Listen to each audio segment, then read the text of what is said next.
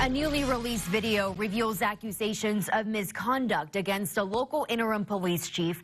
Good evening and thanks for joining us. I'm Jennifer Piñate. The recording you see here is of a conversation between Centerton police officer David Lopez, Centerton Mayor Bill Edwards, and Centerton City Councilwoman Misty Elam. It was recorded April 2nd at the Bentonville Police Department and was meant to be a formal complaint against interim police chief Lieutenant Anthony Keck. Officer Lopez, who has been with the department since 2017, accuses Lieutenant Keck of discrimination, harassment, and creating a hostile work environment.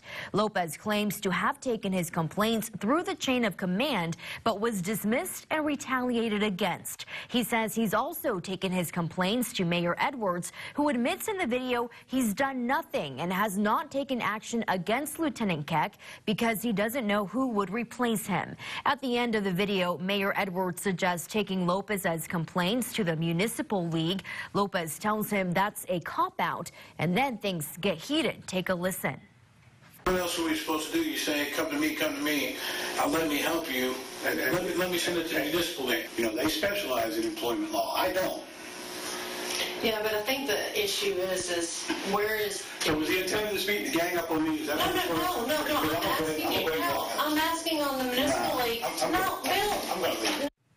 The Centerton City Council held a meeting tonight where we were able to speak with City Attorney Brian Raible about the allegations made in this video. Raible confirms complaints have been filed against Lieutenant Keck, but refused to say what, if any, action is being taken right now.